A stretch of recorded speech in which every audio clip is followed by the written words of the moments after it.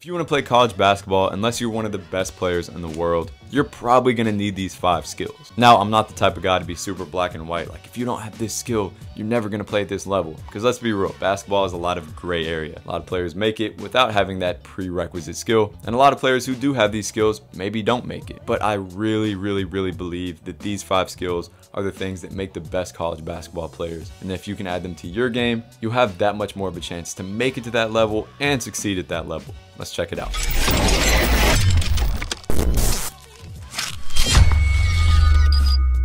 So number one, let's be real, is shooting and shot making. Most times you're gonna have to be able to put the ball in the basket. Now this doesn't mean that you're gonna have to make crazy ISO shots you have to make every single shot have a crazy variety of shots. But to me, you got to be some sort of shot maker. Now, this can mean that you're a crazy good finisher around the rim. So that floater game, that touch around the rim is super advanced. This could be just being a knockdown spot up shooter. So every time your team passes to you, they know that you're gonna knock it down. This could be being very comfortable in the mid range. And of course, this can be a combination or just all of these in kind of a well-rounded fashion. But again, I'm gonna get into defense, but basketball is a lot of time about scoring points. And I have seen players held back because they just don't have that level of confidence in their shot making. And most importantly, you gotta be able to make these shots at high speeds on tough defenders while you're tired in the context of a game. If you can do these, check this off the list, you're good to go for number one. Number two is gonna be two foot finishing. There are actually statistics that show that if you watch a college basketball game at essentially any level, at least 70% of the finishes, successful finishes that is, are gonna be off at two feet. Now, why is this? Number one is because the lane is so packed in college basketball. When you enter that paint, there's probably gonna be two defenders there. There's not a defensive three seconds like there is in the NBA. So you gotta be able to come to a stop, pass out of it, make a decision, and finish with strength. So if we take a player that jumps off of two feet and a player that jumps off of one foot, let's say they're equal level strength, all that, they get bumped in the air, the player who goes off of two feet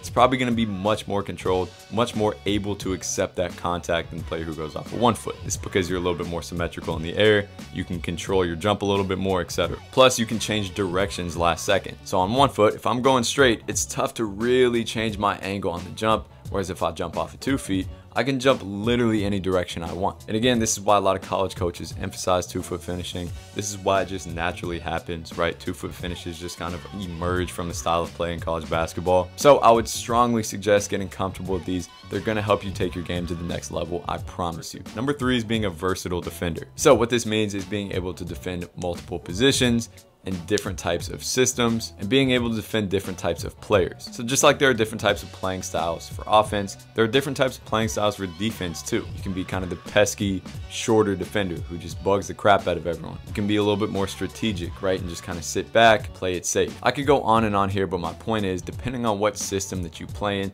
you may have to adjust a little bit. You may have to become that more pesky defender, or you may have to play it a little bit more safe and kind of scale back that aggressiveness. You may have to guard shorter players or taller players based on the system. Maybe you guys are playing small ball, so now you have to adjust to guarding a taller player. Coaches need players at the college level who are super versatile. So not only do you have to be a good defender, but you have to be a very well-rounded defender. If you can do this, and I suggest working on this by just playing against a bunch of different types of players, trying a bunch of different styles, and if you can get good at this, I promise you coaches will look at you in a crazy high light. Number four is handling pressure and physicality. College basketball is a physical game.